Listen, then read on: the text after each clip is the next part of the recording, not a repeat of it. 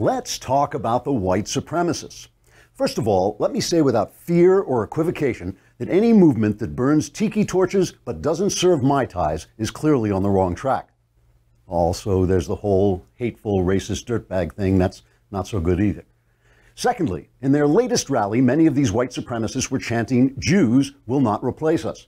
If that's true, it's a tremendous disappointment.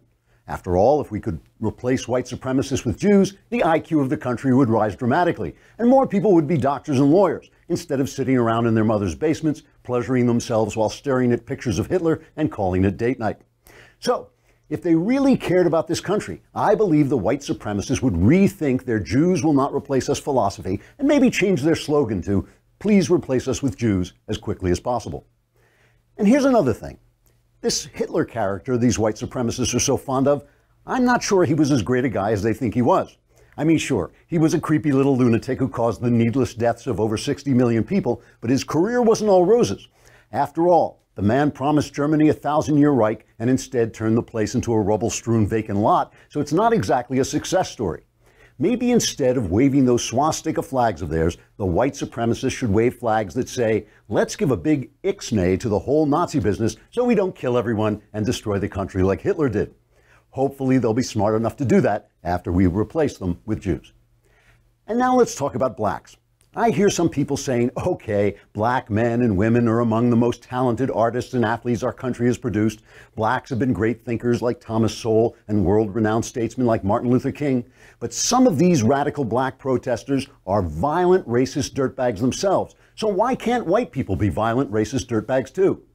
Well, I think the white supremacists have proved that white people can indeed be violent racist dirtbags. So, congratulations, white people. If I understand this philosophy right, white supremacists feel that white people are the best people ever. And in fact, I can think of many white people I admire very much. Isaac Newton was a good one, William Shakespeare, and I'm very fond of my wife as well.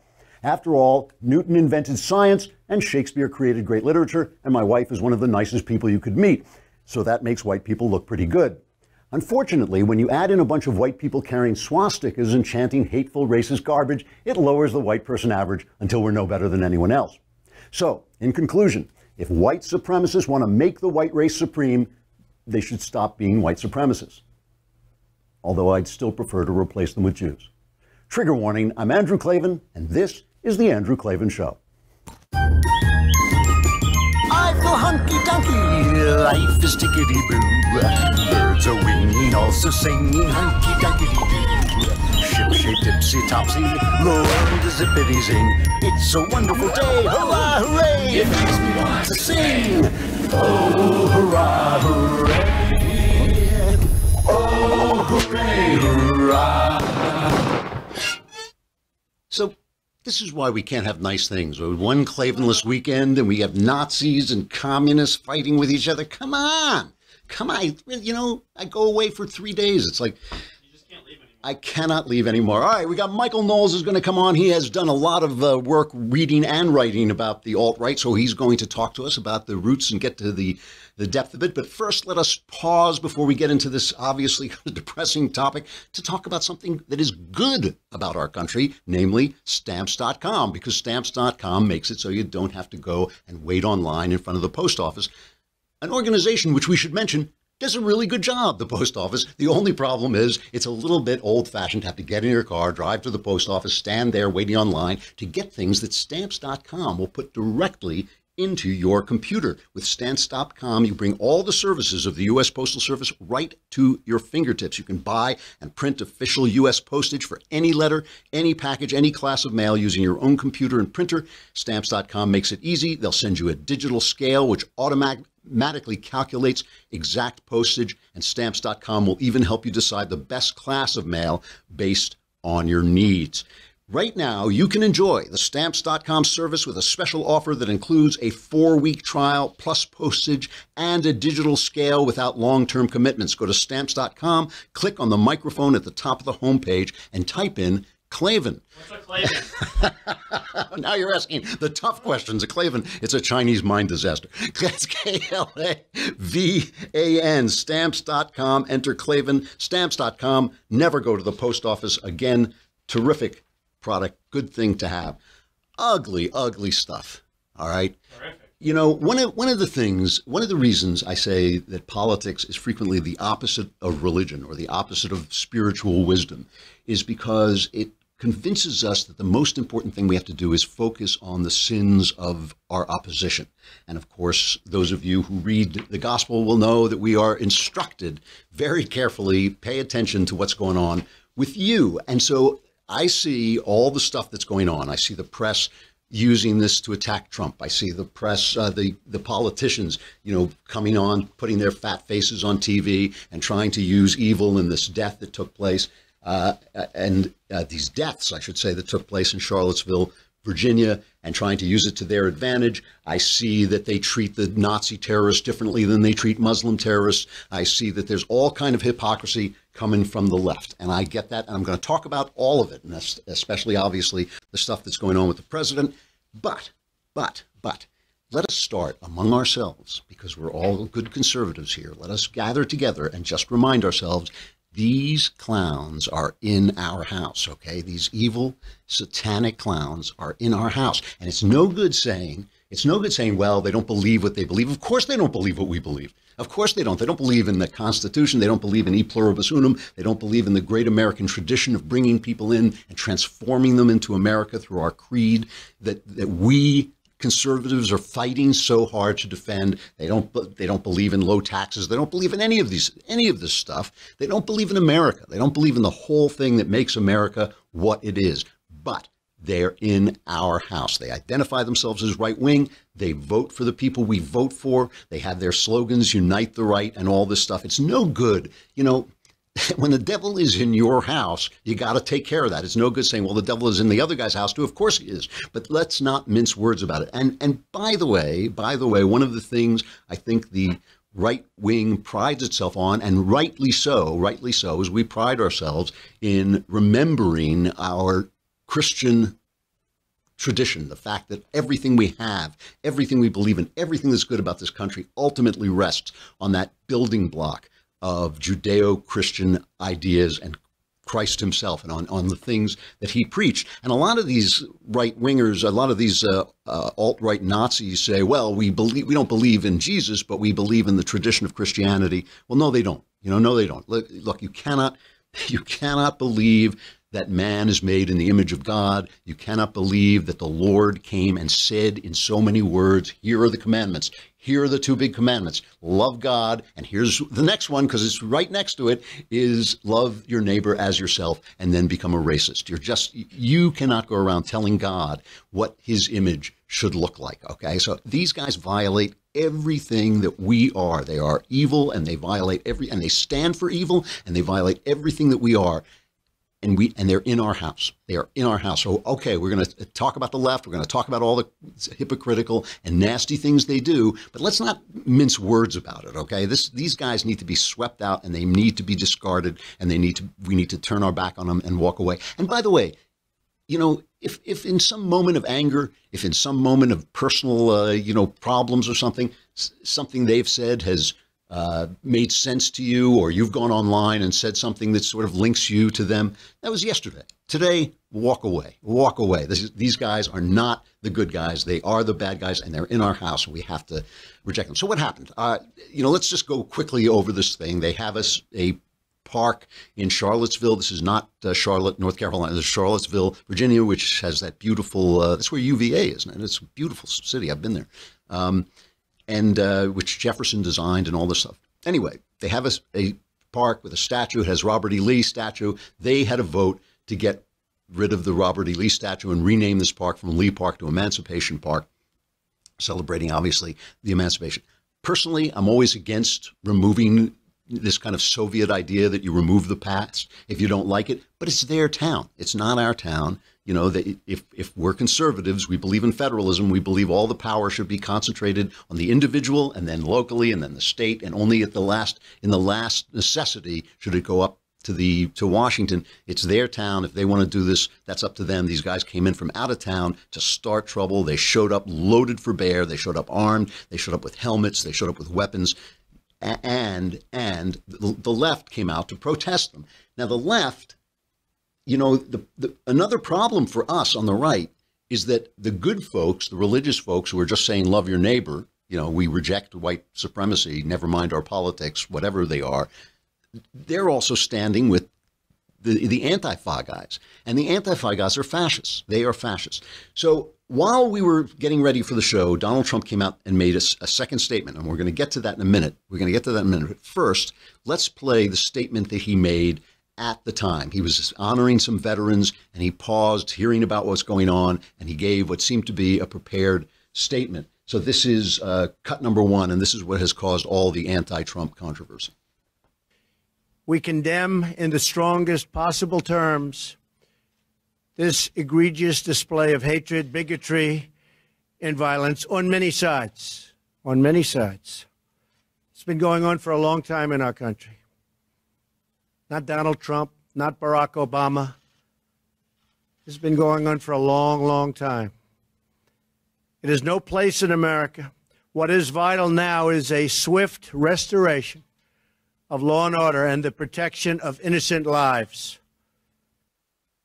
Now, so he said the hatred is on all sides, and this drives the left crazy. How can you compare? How can you make moral equivalence to between these Nazis and wonderful, lovely people like Antifa, who they must be anti-fascists right in their name, while they're hitting you while they're wearing a, a balaclava and hitting you over the head with a stick, and the Black Lives Matter people who include people who say, you know, pigs in a blanket, cook them up, whatever they say, who incite violence and who have committed violence against police officers in the name of their loving peace. So, you know, Trump is right as far as it goes. He's as he's right as far as it goes obviously there was this stuff during his campaign where he didn't step up and immediately condemn David Duke.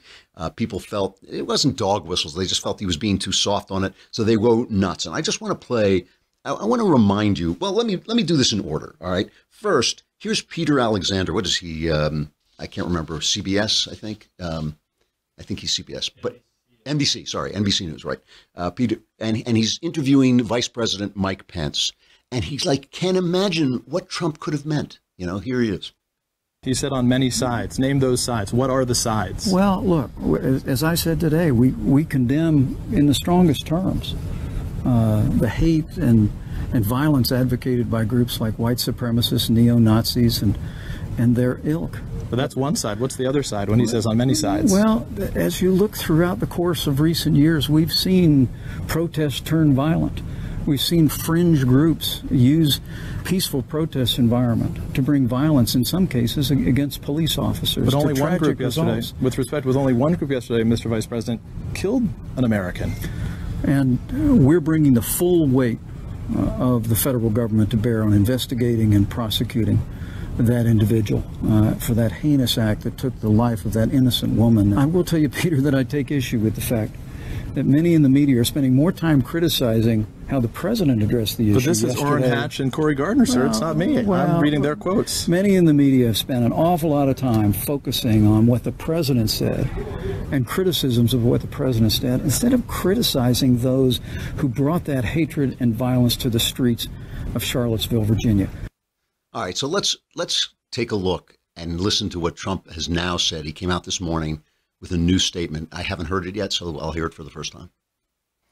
Racism is evil, and those who cause violence in its name are criminals and thugs, including the KKK, neo Nazis, white supremacists, and other hate groups that are repugnant to everything we hold dear as Americans.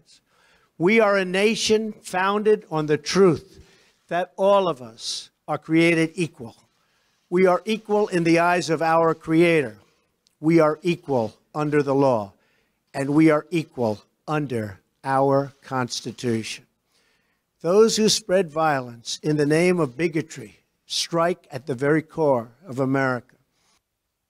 Okay, that's clear enough. I think you know they are they going to pick apart that. I don't know. I mean, the whole thing is this. It's the whole thing that's so bothersome is what other side could there possibly? You know, who else is hateful? How could you call these other people hateful? Gay uh, Cheryl Gay Stolberg, a New York Times reporter, was there on the scene, and she tweeted out, you know, that she was surprised at how that, that the Antifa protesters were also filled with, as she put it, hate-filled violence, and the Twitterverse just piled on top of her until, of course, like all leftists, she apologized as Stalinist show trials and she apologized for what she said. But it's just true. And let us not forget our former president, while we're picking on Donald Trump, every word that comes out of his mouth has to be, you know, turned against him and made into a big thing. But while we're picking on him, let us not forget our former president and how he reacted when a Muslim shouting Allahu Akbar opened fire in Fort Hood in 2009 and killed 13 people. Let's hear how the, the powerful statement against Islamist terrorism that came out of that president. I want to begin by offering an update on the tragedy that took place yesterday at Fort Hood. This morning I met with FBI Director Mueller and the relevant agencies to discuss their ongoing investigation into what caused one individual to turn his gun on fellow servicemen and women. We don't know all the answers yet, and I would caution against jumping to conclusions until we have all the facts.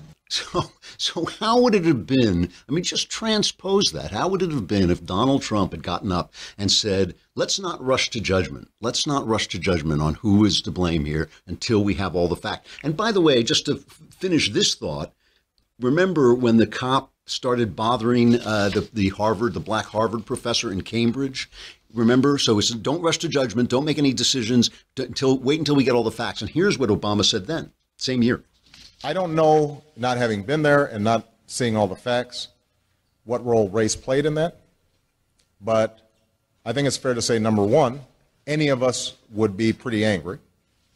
Number two, that the Cambridge police uh, acted stupidly. So, so all I'm saying, all I'm saying is, you know, Trump has made some mistakes about this. If if I were if I were in his shoes, what I would have said is there's hatred on all sides, but some of these guys who support me have to know that they're not helping me or my administration. My administration does not support this. I'm not the friend of these philosophies. You know, if you want to make America great again, because let's look, you know, America has has had greater days than it's having right now, and during those days, there were injustices that need to be put away. We want a new greatness. We want a great a greatness that doesn't have that stuff. There's nothing wrong with Trump saying that. And there's nothing that was nothing that would hurt his efforts and his agenda for him to come out and say, "Look, there's about 10 of these guys in the country. There are not that many of them. Even even here, they do a lot of work. The, the these right-wing fascists do a lot of work to make themselves seem like there are more of them than there are. There aren't that many of them. They didn't put Donald Trump over the top. They're not the reason he won the election. He can obviously just say, look, if, if you actually favor my administration, you have to not be this guy. Put it away.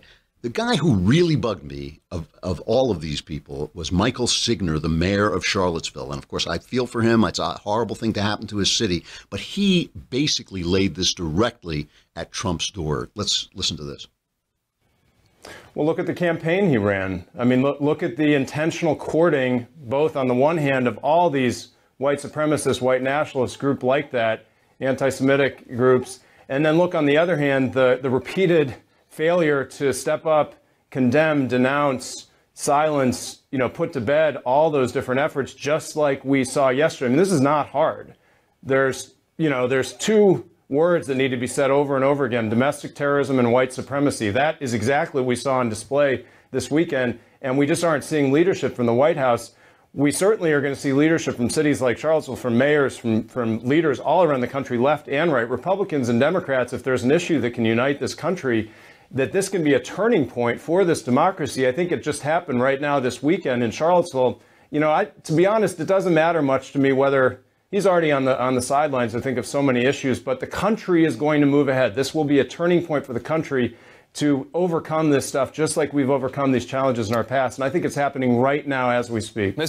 And by the way, again, I know when you hear that and you think domestic terrorism, white supremacism, how come these guys aren't as fast? He's a Democrat. Why aren't they as quick to say domestic terrorism, Islamist uh, fundamentalism? Why was Trump controversial when he did say that? But you know, again, let it go. These guys are in our house. We have to face them. We got. We have to purge these people from anything that even looks like our movement. We have to announce and say repeatedly, you know, I know it's not fair. I know it's not fair. And the reason it's not fair, the reason it's not fair is because leftism is racism. Leftism, with its identity politics, is now wholly infested with racism. We're not. Just like I said before, you can't fight for free speech by silencing other people's speech. You cannot fight for the Constitution and America and and be a racist. You cannot be a right wing racist. The two things simply do not go together, and anything that looks like that has to be purged out of the movement. The thing that bothered me about Signer, though, is listen to my pal Doug McElway, the great Fox News street reporter. He was out there on the scene. Listen to his experience with the police in Charlottesville. And before you lay this at Trump's house, Mayor and, and Governor Terry McAuliffe, listen to this what McElway says about the cops. When I got out of my car yesterday in Charlottesville for the first time at about 10:30 yesterday morning, you knew this was a bad scene and that bad things were going to be happening because people were congregating at Lee Park, at Emancipation Park, wearing helmets, body armor, carrying big, heavy sticks. Nobody was intent upon peace here from either side. People were intent on causing havoc and causing damage. And even as wounded were being brought out of the park, the police were sitting idly by. Uh, I was standing by a, a cordoned off area where the police had set up as a staging area, the state police had set up, and they said, you can come in here, this is a safe area. But when the tear gas started to fly, thrown by protesters, the police themselves began to evacuate that. I asked the guy who was in charge, I said, where are you going? He said, we're leaving. It's too dangerous. They had an opportunity to nip this thing in the bud, and they chose not to.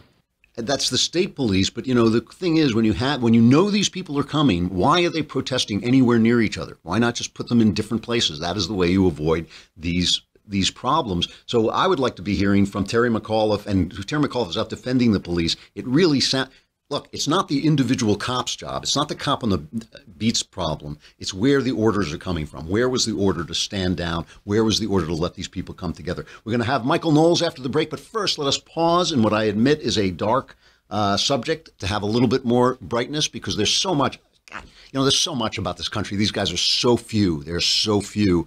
And when we, when the rest of us turn on each other in their name, they are getting some of the stuff that they want you know, when we, when the decent people start fighting with each other over these clowns, uh, they are getting some of the stuff we want. Always good to pause and remember that uh, capitalism is still working well, the job market is working well, and you can get great snacks with NatureBox. I mean, there you go. It is a good, it is a good thing. If you are like me, when you're up late at night, you, that's when you start to hit whatever in the closet, whatever in the uh, cupboard. You start eating whatever is there. A lot of times, maybe not so good. With Nature Box, you send away. They will send you snacks, and they're all they have. They're made out of better stuff. They tell you, you know, the calories and what's in and what's involved. They have over a hundred snacks that taste good and are actually better for you. All the snacks are made from high quality, simple ingredients, which means no artificial colors, flavors, sweeteners. You can feel good about what you're eating, and they are they're good. They are good. I've, I've talked before about the one uh, the kettle corn with coffee. I mean, just talking about it makes me a little bit. Uh, you'll uh, you'll be happy if I don't just walk away. French vanilla almond granola, whole wheat chocolate chip cookie bites, and they come in these bags, so you can tell how much you're getting. So simple. Go to naturebox.com. You choose the snacks you want, and NatureBox will deliver them right to your door. I can promise you, if you just go on the website, you will do this thing because you'll see the pictures and they look so good. There's no risk. If you ever try a snack you don't like, don't eat it. NatureBox will replace it for free, and you can save even more right now. NatureBox is offering my fans three free snacks with your first order when you go to naturebox.com slash Klavan. I have a question. oh, no. oh, I'm so glad you asked me a question I can actually answer. K L A V A N, naturebox.com slash Klavan for three free snacks with your first order. Naturebox.com slash Klavan. It's good stuff. You will like it. All right, we got a break from Facebook and YouTube where you get free video for a while, but then if you want to watch the rest of the show, you got to come to thedailywire.com and subscribe. You can come over to thedailywire.com and listen. But if you want to see the whole show, you can just subscribe. That way you get in the mailbag. It's a lousy 10 bucks a month. You get all your questions answered, your personal problems solved. And if you subscribe for a year at a lousy 100 bucks for the year, you get the leftist tears tumbler. Come on, it's worth it. All right, let's uh, we'll, we'll see you on the other side.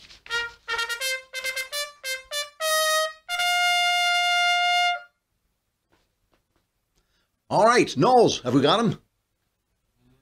The great and powerful Michael Knowles. There we are. Hey, it's good to see you. You know, I have to thank you. You have Uh-oh. you have given me some really terrible assignments before, Southside with you, Barry, so on. I'm I'm really glad you did not send me to Charlottesville this weekend. That would have just that would have been worse than Southside with you. So I I just like to thank you on the show. It would have been it would have been a toss up, Southside or you, or having your head cracked in by a That's bunch true. of crazy. Fair enough. how's how's your show going? Uh, show's going well. I want to thank everybody for listening. We rose up pretty high in the charts and have been doing shockingly well. I figured we would have been canceled by now, but thanks to viewers like you, somehow I still have a job. I've, I've tried my best to get you canceled, and, and, and that I have to remind people: you have to go on. You cannot let this man look. At, look at this guy's face. Look at I mean, this mug. You cannot let this man rise above my show, and it's all about the reviews. You got to go on iTunes and review my show and give it good reviews, so you can humiliate this man as he This- so, you so wanna see me obviously deserves. Don't mean, so you have written a lot, and and wrote you wrote a really excellent piece uh, a long time a while back for the Daily Wire about these. Uh, what do we call them? I, I almost hate to call them the alt right because it doesn't mean anything. The, the word d- has been watered down to mean nothing. They've sort of done it. It's a weird alliance between these guys and the media to make this term so ambiguous that they pull people in. And this this is the cleverness of them. It's why they called their rally "Unite the Right."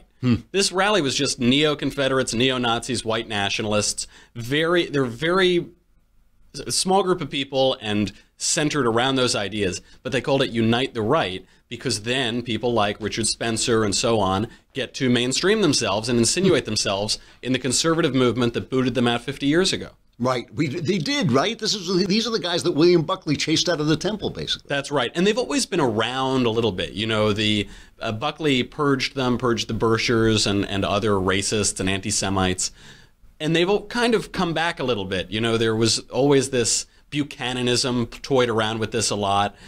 Uh, I think a lot of a lot of other people. John Derbyshire has written racist articles. Uh, uh, Peter Brimelow has veered into that territory, and for decades now, there have been people like Jared Taylor, my fellow Yale, who's a white supremacist, white white nationalist. I think is fair. He is uh, unique, I think, among them because he's actually not anti-Semitic. He's just a ethno-state advocate and wants a white country and all those sort of things. Uh, not the same cannot be said of some of these other guys. There's Theodore Beale who goes by Vox Day. Oh, yeah. He- he's one. He he utters the 14 words about protecting white people. What are, what are the 14 words? the 14 words are, let me see if I remember this from summer camp. It's, uh, we must secure the existence of our people and a future for white children. It's often paired with 88, which stands for the eighth letter of the alphabet H, which stands for Heil Hitler, of course. Oh, great. Okay. Uh, and, and other writers, too. Sam Francis, the old right wing writer, he called for a white racial consciousness. P- Paul Ramsey is a YouTube guy, white supremacist, questions the Holocaust. Uh, What's really interesting about these guys is just like the progressives, they're going backwards. You know, they're going back to this primitive idea. I mean, ever since Jesus, basically, the idea has been that we that great ideas transcend nationalism and transcend race. At least since Jesus, it's, it's been that idea. They're going back into this primitivism. These guys are evidence that a little bit of knowledge is a dangerous thing. This is Yeah, seriously yeah. because they're not totally stupid and they're not totally uneducated. They are a little bit stupid and lightly educated. Mm-hmm. They've read some things, but not but without a lot of context. They position themselves as defenders of Western culture, Western civilization. I think they know very little about those two things, and as, as a result, their views can seem attractive. A guy like Richard Spencer, who's kind of become the head of this thing, he runs alt- altright.com, the National Policy Institute, which is white nationalist. He's a good-looking guy. He's articulate, and he seems educated to the uneducated. He's not a stupid guy. He was in a PhD program at Duke, and that that's what that's what's worrisome. It's It's- David Duke University, right? that's David Oh, Duke. no, actually, the other right. Duke. Okay, yeah. it's a yeah, it's a correspondence course anyway. But with what it, it's attractive, it's subtle, it's uh, tempting, much like the devil. So it's very, you know confuses information that way, and as a result, I think particularly young people, particularly uh, that right wing set of internet trolls. Can be brought over to them. You know, Andrew Anglin, the guy who runs Daily Stormer, this disgusting website, which is just a neo Ku Klux Klan thing. He says that he's the king of the trolls, which makes this fight personal, buddy. Absolutely. Because back when you were just neo Nazis, I was angry. But now you're claiming my people. This is not good. you are. Listen, I think we all acknowledge that you are king of the trolls. I This appreciate is like it. Game of Thrones. You guys are going to have to fight it out with like dragons. When two ethereal armies go to battle, particularly with dragons, side with Michael. Always side with Michael. That's you know how the story turns out. So, that, but there's this worry that some young people went to this stupid thing in Charlottesville. There's a guy, he's a college president, college Republican president at Washington State University, James Allsup. He's a YouTuber guy. He went there in in solidarity with these guys. He's the, the guy who mowed down the poor woman and 19 other people was 20 years old. Right. Threw his life away. Probably had more testosterone than sense. And and the other strange thing about this movement is that it's not just hillbillies. It- you know, of the- course, of course. yeah. there are a lot of roots. A- Andrew Anglin, the Storm Daily Stormer guy, says that he his largest source of traffic and donations is Silicon Valley. Really? It's not Appalachia. Now, who knows? I mean, the guy's a liar and a troll, but yeah. I wouldn't be surprised. There are these roots of neo reaction that came out of Silicon Valley. So wait, let's talk about the young the young aspect of this for a minute, though, Sure. because I, I have to I have to believe. I mean, I, I obviously there's no study of it, but I have to believe that part of the appeal to young people is shattering the pieties. I mean, when you see a guy. Uh, fired from Google for basically saying, "Hey, could you please allow a little bit of uh, alternate opinions in here?" And they go, "Yeah, you're fired." That that there it becomes. I mean, I always used to say this about John Derbyshire too: is that it, it becomes glamorous to fight the power. I mean, it's kind of like Satan in Paradise Lost. You know, he's up against this massive power. It becomes kind of romantic to Precisely. stand up against it, even if you're utterly in the wrong. That's precisely right. And I think that I don't think we should condescend and patronize these young people and say, "Oh, you've got a lot to learn, young fella." Mm-hmm. And but n- nevertheless, y- you have to be careful when your ideas are forming and you don't quite know where you stand and you have a little bit of knowledge or a little bit of education or a little bit of passion because you're watching Brendan Eich get fired or this guy at Google get fired and you're seeing your grades lowered because you're on the right. It creates reactionaries. That's what this school out of Silicon Valley is. It's a it's a reactionary thing, and uh, y- you really ought to calm down, or you, or you can ruin your life. The internet is forever, and and the extreme of this is a guy who who mowed down a woman and killed her. He'll he'll go to jail if there's any justice. Uh, that it's a it's a dangerous thing you're playing with. The memes are fun. Pepe's fun. Yelling about Mitch McConnell and Paul Ryan is a lot of fun. I, I embrace all of those things. Yeah, sure. But you're you are playing with fire if you're playing around with these guys. I, I mean, this is always my argument with Milo Yiannopoulos. He thinks he's being ironic, but evil eats irony. I mean, evil is like irony is a snack for evil. I mean, you can be ironic about it all you want, and it's it's a good thing to make fun of the devil. But basically, if you are participating in this stuff and thinking it's glamorous or, or funny, uh, the devil just he'll have you for lunch. if you live your life ironically, Yeah. You, there's there's no difference. There's Right, no right, difference between right. iron, what's ironic and Yeah. what's earnest. And Milo did inestimable damage to the to the right in this country and to the conservative movement Yeah. by mainstreaming these guys. He ostensibly wrote this article, uh, "The Establishment Conservatives Guide to the Alt Right," Right. which my article is is refuting and and uh, responding to. But he. Uh, On the one hand, he said racists are a fringe in this movement, and then he said, "Here are the founders of this movement. Everyone's a racist, or, a, neo-Nazi, or something." You know, to go back also for a minute, and I really do want to talk about this because it's it's important to me personally. This idea of education and a little bit of education. One of the things that I've noticed repeatedly with these guys is that they have read a couple of great books. And they can quote from them Nietzsche and things like that, people who are really important in the history of Western culture.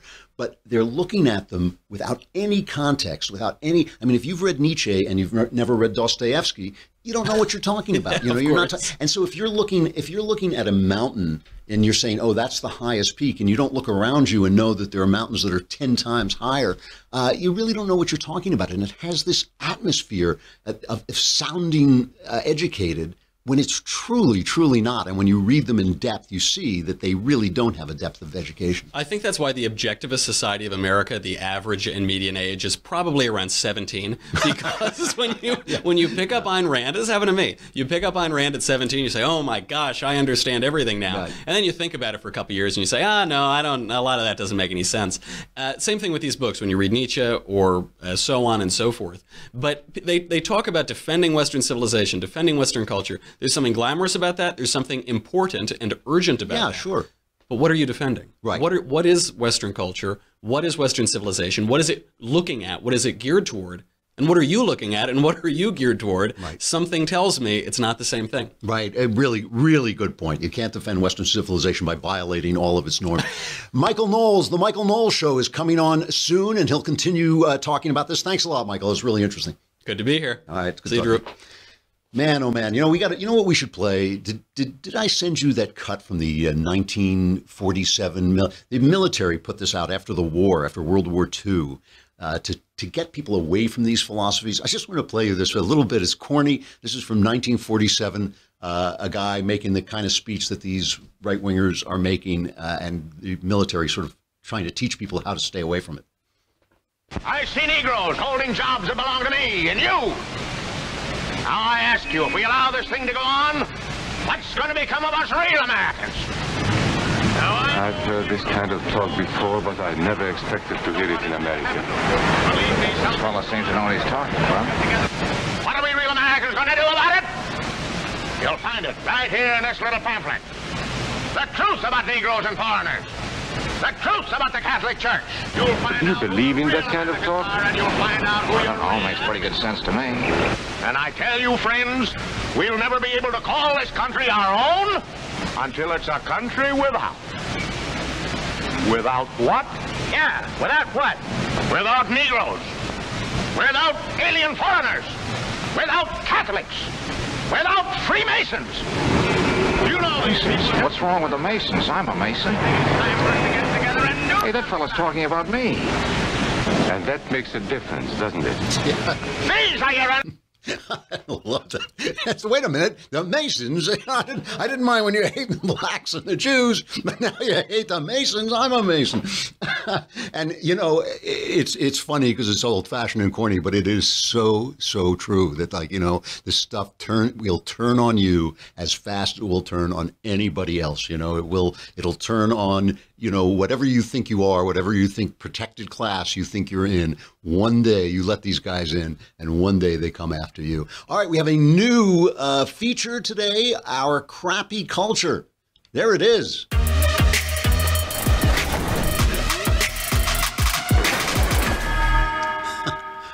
Love it. We've even misspelled crappy and culture, which I think is excellent, excellent music. Good job. Uh, you know, this is this is kind of a, a day, a tough day. It's a tough day for comedy. Let's put it that way. It is. It is really a tough day for comedy. We haven't even mentioned uh, the two police officers who died in a chopper crash while trying to patrol this uh, these events in Charlottesville. Um, so, I, you know, I don't want to go off uh, too far, uh, too far afield, and I want to talk a little bit in our crappy culture. One of the things that is crappy about our culture is the mainstreaming, the mainstreaming of bigotry from the left, almost exclusively, that has given these clowns on our side, our e- evildoers, it has given our evildoers shelter. Okay. Here is a piece, Tom Knighton at PJ Media linked to this piece. It's from the College Fix, and the College Fix covers, uh, you know, bad things that are happening in colleges. Stanford University, okay, this is one of the premier universities in the country.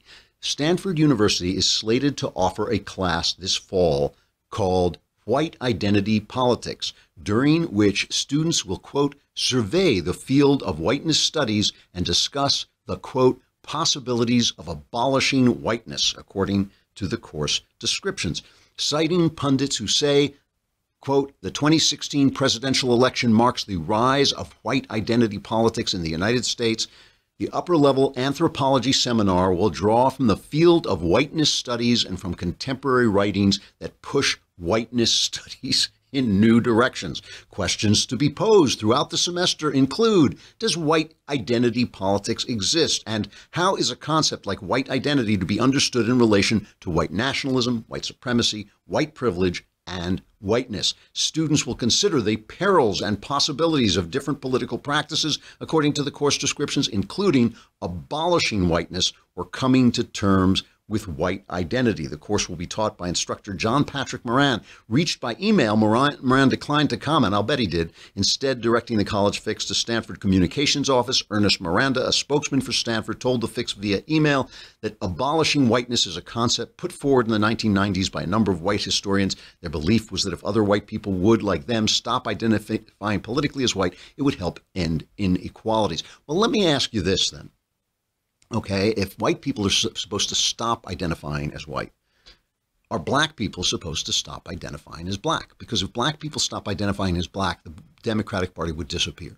If the Democratic Party could stop would stop convincing people to identify according to their race and according to their sex and according to their identity, the Democrat Party would disappear. Its policies don't work. Its cities are cesspools for the people they're supposed to help. I mean, go on, look online at any place where uh, blacks are being shot down, where they're living in squalor, where they're living in desperate situations. See who's been running that city since, like, you know, 1203. You know, the, these places like Chicago, Baltimore, St. Louis, you know, they almost never have Republican governors or mayors you know that the fact that this philosophy this progressive democrat socialist philosophy has failed everywhere and has failed the people it's supposed to help is very very well established so the only thing they have is this grievance politics why on earth why on earth would black lives matter I mean, if you if you if a Democrat politician stands up and he says all lives matter, he gets shouted down. We've seen it. He gets booed off the stage.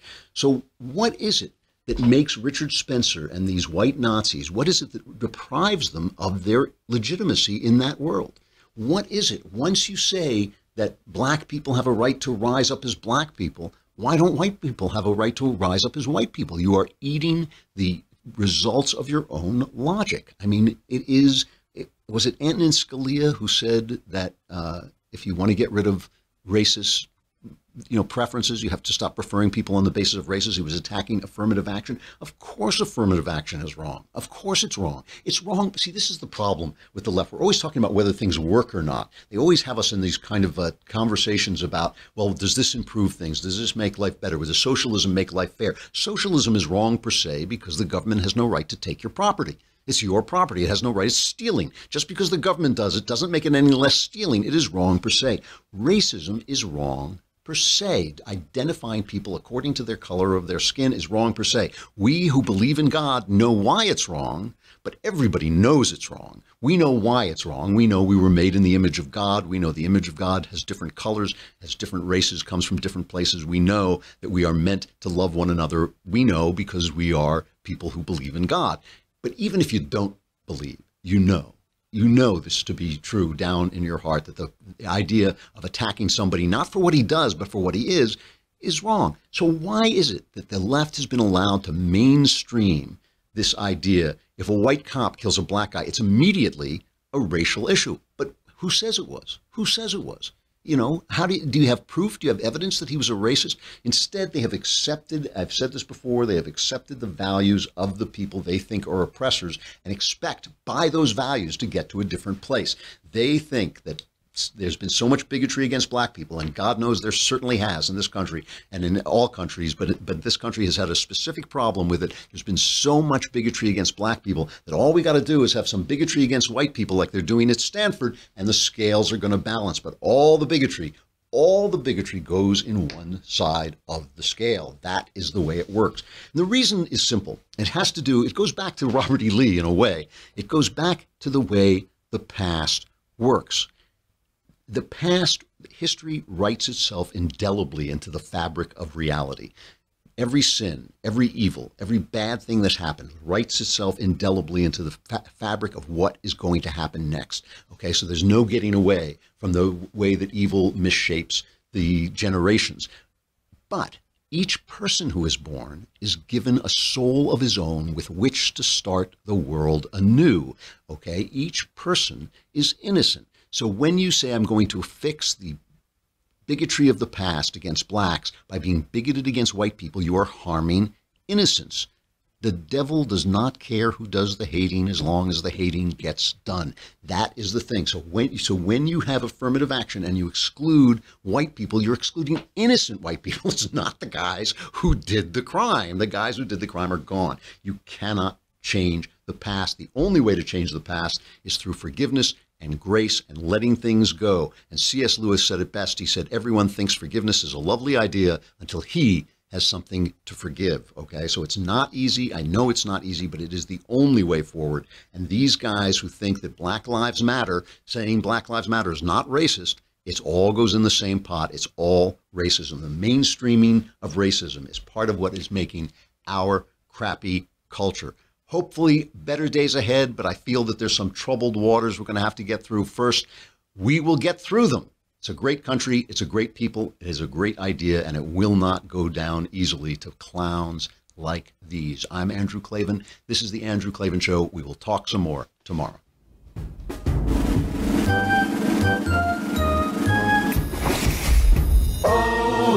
Town. It's not our town. You know, that if, if we're conservatives, we believe in federalism. We believe all the power should be concentrated on the individual and then locally and then the state. And only at the last, in the last necessity, should it go up to the to Washington. It's their town. If they want to do this, that's up to them. These guys came in from out of town to start trouble. They showed up loaded for bear. They showed up armed. They showed up with helmets. They showed up with weapons.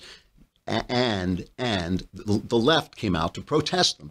Now the left you know, the, the, another problem for us on the right is that the good folks, the religious folks who are just saying love your neighbor, you know, we reject white supremacy, never mind our politics, whatever they are, they're also standing with the, the Antifa guys. And the Antifa guys are fascists. They are fascists.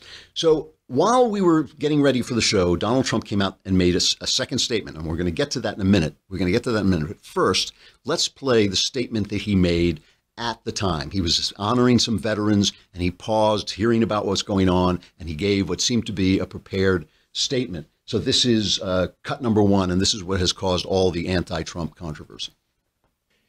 We condemn in the strongest possible terms this egregious display of hatred, bigotry, and violence on many sides. On many sides. It's been going on for a long time in our country not Donald Trump, not Barack Obama. This has been going on for a long, long time. It has no place in America. What is vital now is a swift restoration of law and order and the protection of innocent lives. Now, so he said the hatred is on all sides, and this drives the left crazy. How can you compare? How can you make moral equivalence to between these Nazis and wonderful, lovely people like Antifa, who they must be anti-fascists right in their name, while they're hitting you while they're wearing a, a balaclava and hitting you over the head with a stick, and the Black Lives Matter people, who include people who say, you know, pigs in a blanket, cook them up, whatever they say, who incite violence and who have committed violence against police officers in the name of their loving peace. So, you know, Trump is right as far as it goes. He's as he's right as far as it goes obviously there was this stuff during his campaign where he didn't step up and immediately condemn David Duke. Uh, people felt it wasn't dog whistles; they just felt he was being too soft on it, so they go nuts. And I just want to play. I, I want to remind you. Well, let me let me do this in order. All right. First, here's Peter Alexander. What is he? Um, I can't remember. CBS, I think. Um, I think he's CBS, but. NBC, sorry, NBC News, right? Uh, Peter, and and he's interviewing Vice President Mike Pence, and he's like, can't imagine what Trump could have meant. You know, here he is. He said on many sides. Name those sides. What are the sides? Well, look. The great and powerful Michael Knowles. There we are. Hey, it's good to see you. You know, I have to thank you. You have Uh-oh. you have given me some really terrible assignments before, Southside with you, Barry, so on. I'm I'm really glad you did not send me to Charlottesville this weekend. That would have just that would have been worse than Southside with you. So I I just like to thank you on the show. It would have been it would have been a toss up, Southside or you, or having your head cracked in by a That's bunch true. of crazy. Fair enough. how's how's your show going? Uh, show's going well. I want to thank everybody for listening. We rose up pretty high in the charts and have been doing shockingly well. I figured we would have been canceled by now, but thanks to viewers like you, somehow I still have a job. I've, I've tried my best to get you canceled, and, and, and that I have to remind people: you have to go on. You cannot let this man look. At, look at this guy's face. Look at I mean, this mug. You cannot let this man rise above my show, and it's all about the reviews. You got to go on iTunes and review my show and give it good reviews, so you can humiliate this man as he This- so, don't obvious, you wanna so obviously deserves. I Don't mean, so you have written a lot, and and wrote you wrote a really excellent piece uh, a long time a while back for the Daily Wire about these. Uh, what do we call them? I, I almost hate to call them the alt right because it doesn't mean anything. The, the word d- has been watered down to mean nothing. They've sort of done it. It's a weird alliance between these guys and the media to make this term so ambiguous that they pull people in. And this this is the cleverness of them. It's why they called their rally Unite the Right. Hmm. This rally was just neo-Confederates, neo-Nazis, white nationalists. Very they're very a small group of people and centered around those ideas, but they called it Unite the Right because then people like Richard Spencer and so on get to mainstream themselves and insinuate hmm. themselves in the conservative movement that booted them out 50 years ago. Right. We, they did, right? This is these are the guys that William Buckley chased out of the temple, basically. That's right. And they've always been around a little bit. You know, the uh, Buckley purged them, purged the Birchers and, and other racists and anti Semites. And they've kind of come back a little bit. You know, there was always this Buchananism toyed around with this a lot.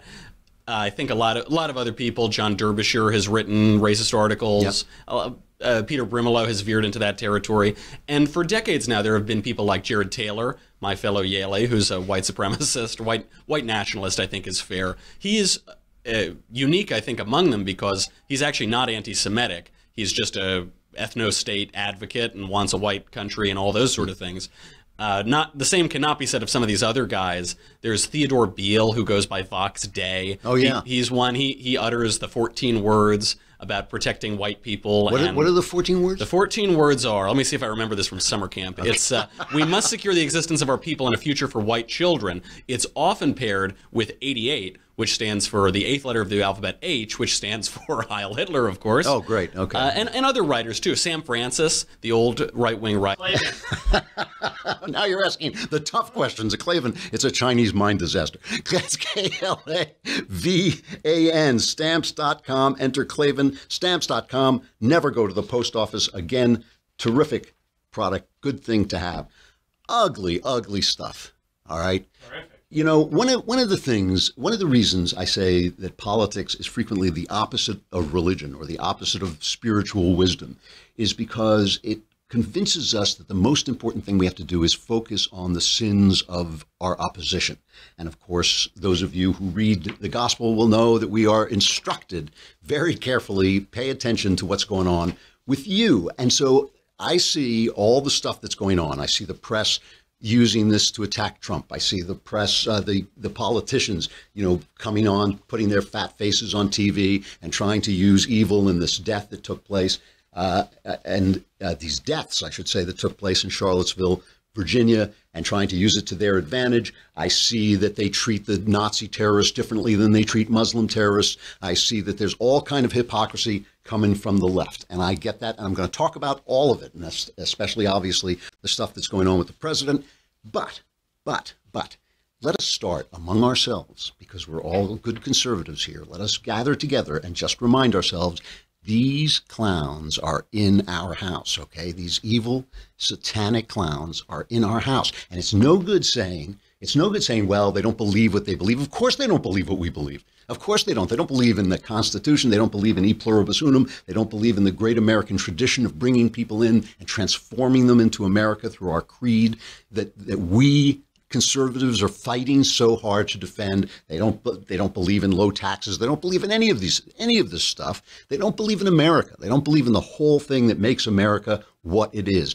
But They're in our house. They identify themselves as right wing. They vote for the people we vote for. They have their slogans, unite the right, and all this stuff. It's no good. You know, when the devil is in your house, you got to take care of that. It's no good saying, well, the devil is in the other guy's house too. Of course he is. But let's not mince words about it. And, and by the way, by the way, one of the things I think the right wing prides itself on, and rightly so, rightly so, is we pride ourselves in remembering our Christian tradition, the fact that everything we have, everything we believe in, everything that's good about this country ultimately rests on that building block of Judeo Christian ideas and Christ himself and on, on the things that he preached. And a lot of these right wingers, a lot of these uh, uh, alt right Nazis say, well, we believe we don't believe in Jesus, but we believe in the tradition of Christianity. Well, no, they don't. You know, no, they don't. Look, look you cannot you cannot believe that man is made in the image of God. Go on to zippity zing. It's a wonderful day. Hurrah, hooray! It makes me want to sing.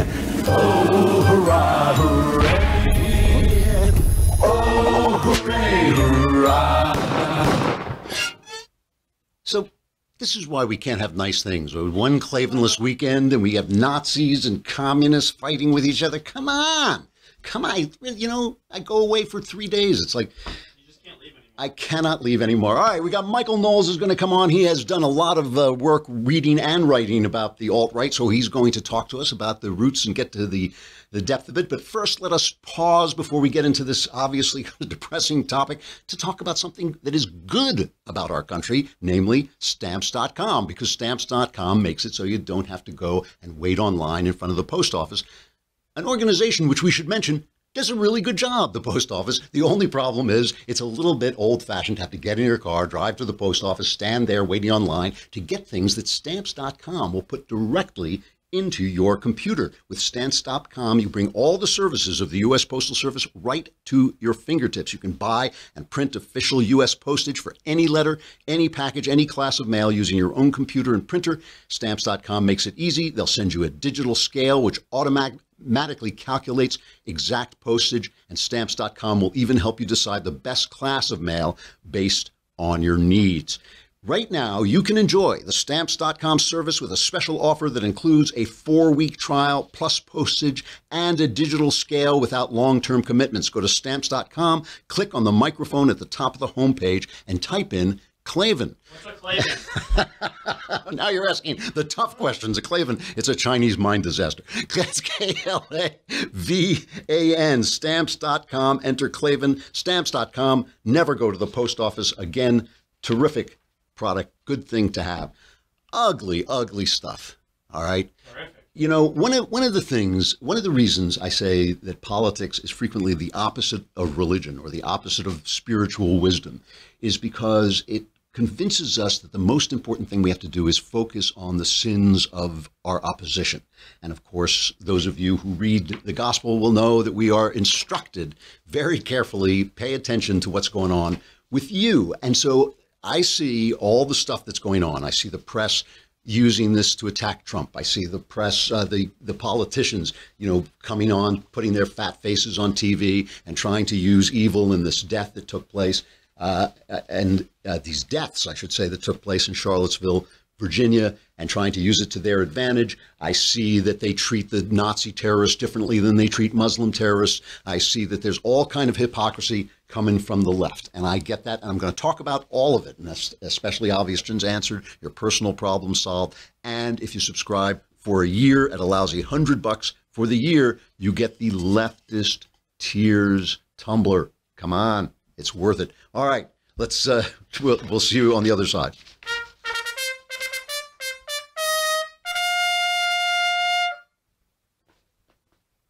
All right, Knowles, have we got him? The great and powerful Michael Knowles. There we are. Hey, it's good to see you. You know, I have to thank you. You have Uh-oh. you have given me some really terrible assignments before, Southside with you, Barry, so on.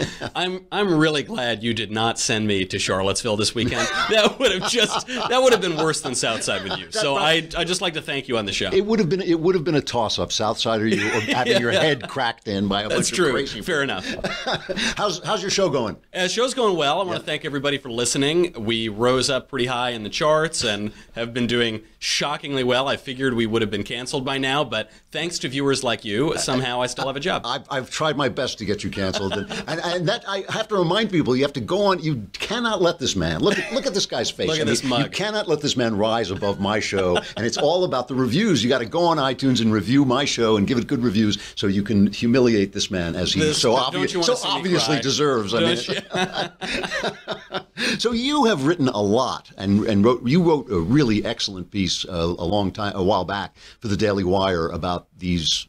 Uh, what do we call them? I, I almost hate to call them the alt right because it doesn't mean anything. The, the word d- has been watered down to mean nothing. They've sort of done it. It's a weird alliance between these guys and the media to make this term so ambiguous that they pull people in. And this this is the cleverness of them. It's why they called their rally Unite the Right. Hmm. This rally was just neo-Confederates, neo-Nazis, white nationalists. Very they're very a small group of people and centered around those ideas, but they called it Unite the Right because then people like Richard Spencer and so on get to mainstream themselves and insinuate hmm. themselves in the conservative movement that booted them out 50 years ago. Right. We, they did, right? This is these are the guys that William Buckley chased out of the temple, basically. That's right. And they've always been around a little bit. You know, the uh, Buckley purged them, purged the Birchers and, and other racists and anti Semites. And they've all kind of come back a little bit. You know, there was always this Buchananism toyed around with this a lot. Uh, I think a lot of a lot of other people. John Derbyshire has written racist articles. Uh, uh, Peter Brimelow has veered into that territory, and for decades now, there have been people like Jared Taylor, my fellow Yale, who's a white supremacist, white white nationalist. I think is fair. He is uh, unique, I think, among them because he's actually not anti-Semitic. He's just a ethno-state advocate and wants a white country and all those sort of things. Uh, not the same cannot be said of some of these other guys. There's Theodore Beale who goes. But but let us start among ourselves because we're all good conservatives here. Let us gather together and just remind ourselves these clowns are in our house, okay? These evil satanic clowns are in our house. And it's no good saying, it's no good saying, well, they don't believe what they believe. Of course they don't believe what we believe. Of course they don't. They don't believe in the Constitution. They don't believe in e pluribus unum. They don't believe in the great American tradition of bringing people in and transforming them into America through our creed that, that we conservatives are fighting so hard to defend. They don't they don't believe in low taxes. They don't believe in any of these any of this stuff. They don't believe in America. They don't believe in the whole thing that makes America what it is. But they're in our house. They identify themselves as right wing. They vote for the people we vote for. They have their slogans, unite the right, and all this stuff. It's no good. You know, when the devil is in your house, you got to take care of that. It's no good saying, "Well, the devil is in the other guy's house too." Of course he is, but let's not mince words about it. And and by the way, by the way, one of the things I think the right wing prides itself on, and rightly so, rightly so, is we pride ourselves in remembering our Christian tradition, the fact that everything we have, everything we believe in, everything that's good about this country ultimately rests on that building block of Judeo Christian ideas and Christ himself and on, on the things that he preached. And a lot of these right wingers, a lot of these uh, uh, alt right Nazis say, well, we believe we don't believe in Jesus, but we believe in the tradition of Christianity. Well, no, they don't. You know, no, they don't. Look, look you cannot you cannot believe that man is made in the image of God. You cannot believe that the Lord came and said in so many words, Here are the commandments.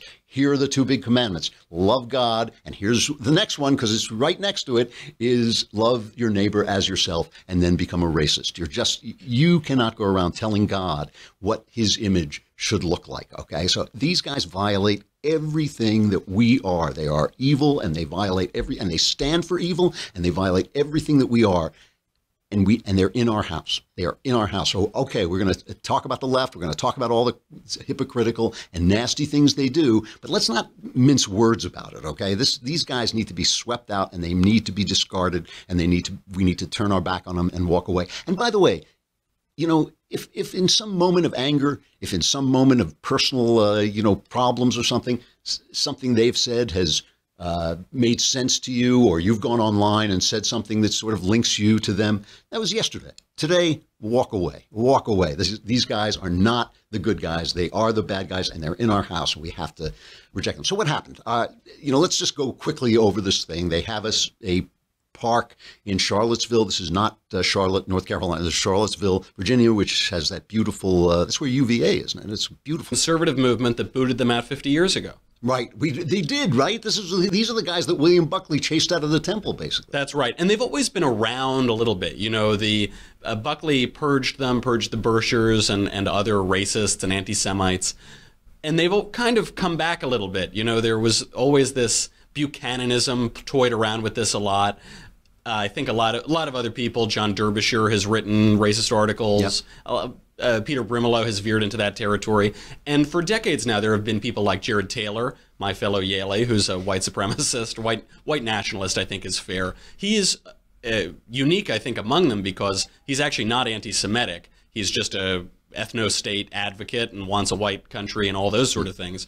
Uh, not the same cannot be said of some of these other guys. There's Theodore Beale who goes by Vox Day. Oh, yeah. He- he's one. He he utters the 14 words about protecting white people. What are, what are the 14 words? the 14 words are. Let me see if I remember this from summer camp. It's uh, we must secure the existence of our people and a future for white children. It's often paired with 88, which stands for the eighth letter of the alphabet H, which stands for Heil Hitler, of course. Oh, great. Okay. Uh, and, and other writers too. Sam Francis, the old right wing writer, he called for a white racial consciousness. P- Paul Ramsey is a YouTube guy, white supremacist, questions the Holocaust. Uh, What's really interesting about these guys is just like the progressives, they're going backwards. You know, they're going back to this primitive idea. I mean, ever since Jesus, basically, the idea has been that we that great ideas transcend nationalism and transcend race. At least since Jesus, it's- it's been that idea. They're going back into this primitivism. These guys are evidence that a little bit of knowledge is a dangerous thing. This is Yeah, seriously yeah. because they're not totally stupid and they're not totally uneducated. They are a little bit stupid and lightly educated. Mm-hmm. They've read some things, but not but without a lot of context. They position themselves as defenders of Western culture, Western civilization. I think they know very little about those two things, and as, as a result, their views can seem attractive. A guy like Richard Spencer, who's kind of become the head of this thing, he runs alt- altright.com, the National Policy Institute, which is white nationalist. He's a good looking guy, he's articulate, and he seems educated to the uneducated. He's not a stupid guy. He was in a PhD program at Duke, and that that's what that's what's worrisome. It's David Duke University, right? That's David Duke. Oh, no, actually, the That's other right. Duke. Okay, yeah. it's a yeah, it's a correspondence course anyway. Uh, But with what it, it's attractive, it's subtle, it's uh, tempting, much like the devil. So it's very, you know confuses information Right. that way, and as a result, I think particularly young people, particularly uh, that right wing set of internet trolls can be brought over to them. You know, Andrew Anglin, the guy who runs Daily Stormer, this disgusting website, which is just a neo Ku Klux Klan thing, those two things. And as, as a result, their views can seem attractive. A guy like Richard Spencer, who's kind of become the head of this thing, he runs alt- altright.com, the National Policy Institute, which is white nationalist. He's a good looking guy, he's articulate, and he seems educated to the uneducated. He's Uh-huh. not a stupid guy. He was in a PhD program at Duke, and that that's what that's what's worrisome. It's David Duke University, right? That's David Duke. Oh, no, actually, the other right. Duke. Okay, yeah. it's a yeah, it's a correspondence course anyway. Uh, But with what it, it's attractive, it's subtle, it's uh, tempting, much like the devil. So it's very, you know confuses information Right. that way, and as a result, I think particularly young people, particularly uh, that right wing set of internet trolls can be brought over to them. You know, Andrew Anglin, the guy who runs Daily Stormer, this disgusting website, which is just a neo Ku Klux Klan thing. He says that he's the king of the trolls, which makes this fight personal, buddy. Absolutely. Because back when you were just neo Nazis, I was angry. But now you're claiming my people. This is not good. you are. Listen, I think we all acknowledge that you are king of the trolls. I This appreciate is like Game of Thrones. You guys are going to have to fight it out with like dragons. When two ethereal armies go to battle, particularly with dragons, side with Michael. Always side with Michael. That's you know how the story turns out. So, that, but there's this worry that some young people went to this stupid thing in Charlottesville. There's a guy, he's a college president, college Republican president at Washington State University, James Allsup. He's a YouTuber guy. He went there in in solidarity with these guys. He's the, the guy who mowed down the poor woman and 19 other people was 20 years old. Right. Threw his life away. Probably had more testosterone than sense. And and the other strange thing about this movement is that it's not just hillbillies. It- you know, of the- course, of course. yeah. There are a lot of roots. A- Andrew Anglin, the Storm Daily Stormer guy, says that he his largest source of traffic and donations is Silicon Valley.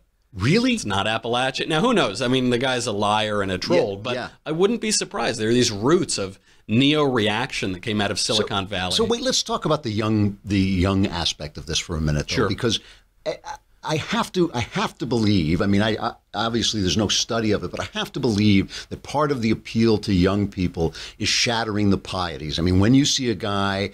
Uh, fired from Google for basically saying, "Hey, could you please allow a little bit of uh, alternate opinions in here?" And they go, "Yeah, you're fired." That that there it becomes. I mean, I always used to say this about John Derbyshire too: is that it, it becomes glamorous to fight the power. I mean, it's kind of like Satan in Paradise Lost. You know, he's up against this massive power. It becomes kind of romantic to Precisely. stand up against it, even if you're utterly in the wrong. That's precisely right. And I think that I don't think we should condescend and patronize these young people and say, "Oh, you've got a lot to learn, young fella." Mm-hmm. And but If white people are su- supposed to stop identifying as white, are black people supposed to stop identifying as black? Because if black people stop identifying as black, the Democratic Party would disappear.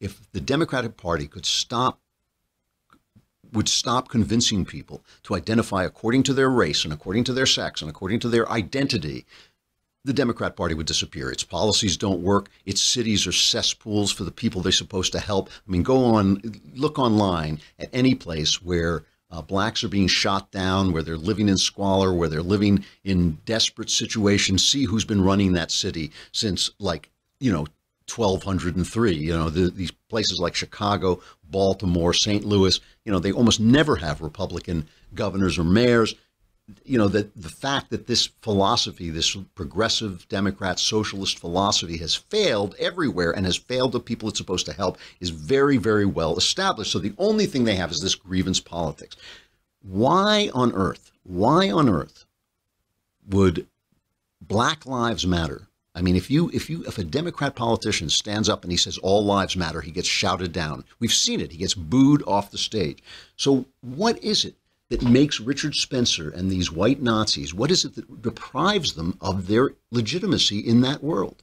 What is it? Once you say that black people have a right to rise up as black people, why don't white people have a right to rise up as white people? You are eating the results of your own logic. I mean, it is. It, was it Antonin Scalia who said that uh, if you want to get rid of racist, you know, preferences, you have to stop referring people on the basis of races? He was attacking affirmative action. Of course, affirmative action is wrong. Of course, it's wrong. It's wrong. See, this is the problem with the left. We're always talking about whether things work or not. They always have us in these kind of uh, conversations about, well, does this improve things? Does this make life better? Does socialism make life fair? Socialism is wrong per se because the government has no right to take your property.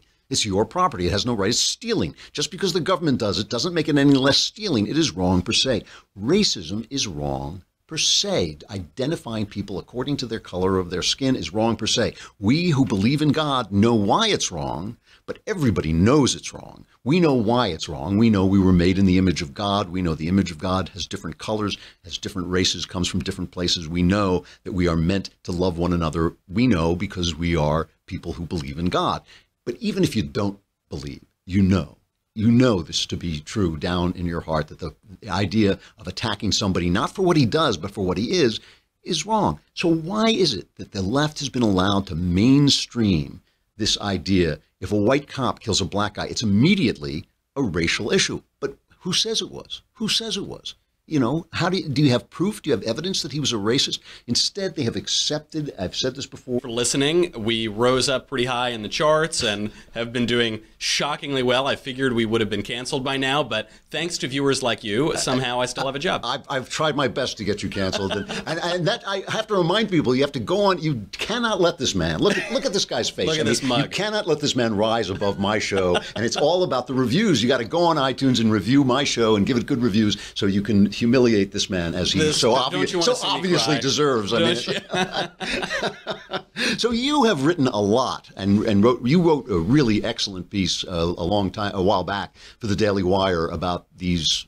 Uh, what do we call them? I, I almost hate to call them the alt right because it doesn't mean anything. The, the word has been watered down to mean nothing. They've sort of done it. It's a weird alliance between these guys and the media to make this term so ambiguous that they pull people in. And this this is the cleverness of them. It's why they called their rally Unite the Right. Hmm. This rally was just neo-Confederates, neo-Nazis, white nationalists. Very they're very a small group of people and centered around those ideas, but they called it Unite the Right because then people like Richard Spencer and so on get to mainstream themselves and insinuate hmm. themselves in the conservative movement that booted them out 50 years ago. Right. We, they did, right? This is these are the guys that William Buckley chased out of the temple, basically. That's right, and they've always been around a little bit. You know, the uh, Buckley purged them, purged the Birchers and and other racists and anti-Semites, and they've all kind of come back a little bit. You know, there was always this Buchananism toyed around with this a lot.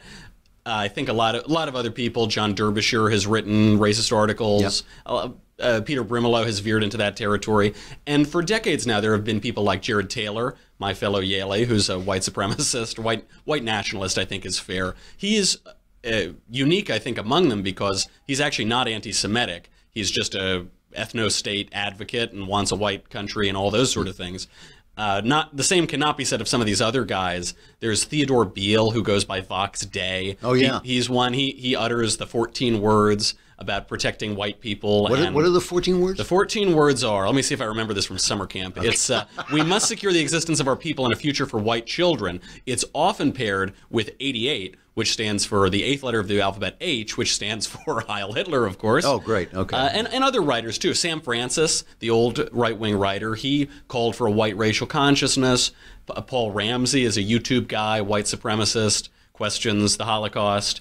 Uh, What's really interesting about these guys is just like the progressives, they're going backwards. You know, they're going back to this primitive idea. I mean, ever since Jesus, basically, the idea has been that we that great ideas transcend nationalism and transcend race. At least since Jesus, it's- it's been that idea. They're going back into this primitivism. These guys are evidence that a little bit of knowledge is